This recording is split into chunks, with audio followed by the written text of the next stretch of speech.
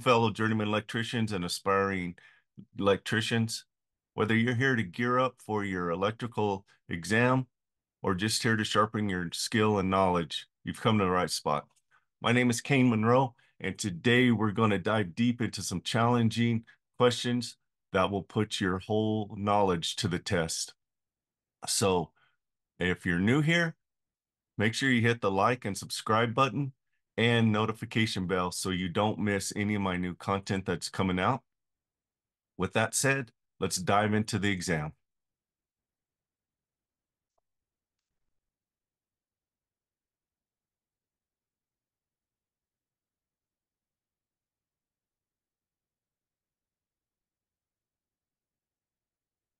All right, guys, let's get started on another journeyman test question video.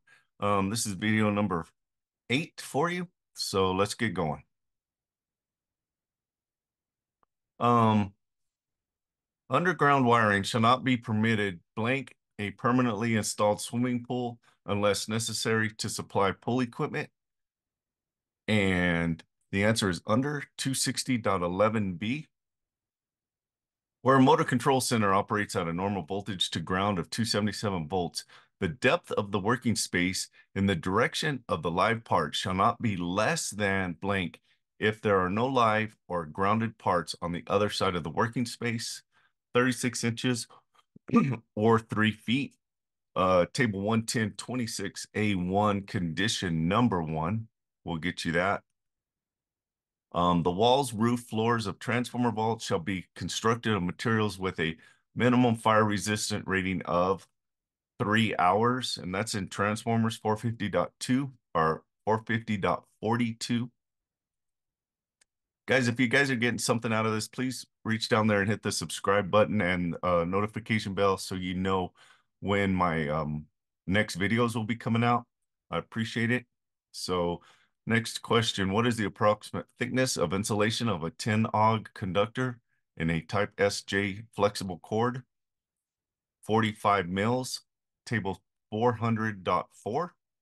Communication cables shall have a vertical clearance of not less than blank from all points of the roof above which they pass, eight feet, and that's in 800.44b. So they got to have that vertical vertical clearance on that roof. What is the minimum total calculated branch circuit load for two show windows that are 20 feet in length? 8,000 VA NEC 220.14 G2 2 times 20 is 40 feet times 200 VA is 8,000 VA.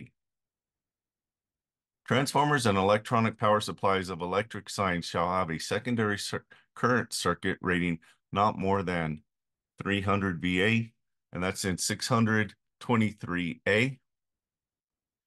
In dwelling units, at least one receptacle, least, let's put an A in there, at least one receptacle outlet shall be installed in bathrooms within blank of the outside edge of the basin. That's 36 inches or three feet.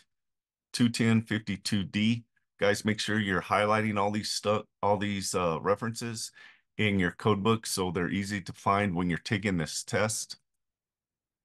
Flat top underfloor raceways are four inches, but not over eight inches wide with a minimum spacing of one inch between the raceways shall be covered with concrete to a depth of not less than one inch, 39015B. So they got to have more than an inch of concrete on top of them. A supplemental elect electrode is required where a single ground rod pipe or plate electrode is used for grounding electrode system and the resistance to earth is blank or greater. That's 25 ohms. And it's in 225.53A2 exceptions. All right, guys. Um, thank you for watching. Um, if you guys need some more help, here's a here's a private group I have. But thanks for watching and good luck on your test. There you have it, folks. I hope you enjoyed that journey through the electrical exam journeyman questions.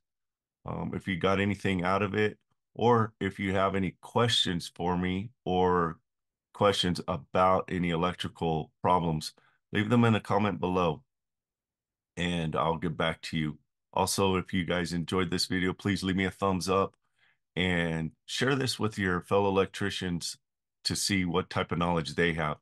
Also, hit that subscribe button for me one more time, and I appreciate everything you got.